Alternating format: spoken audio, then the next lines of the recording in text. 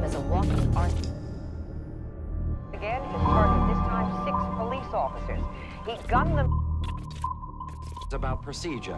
Did the officers trying to arrest Davis go by the book? And were proper procedures followed after? And he chasing and shooting.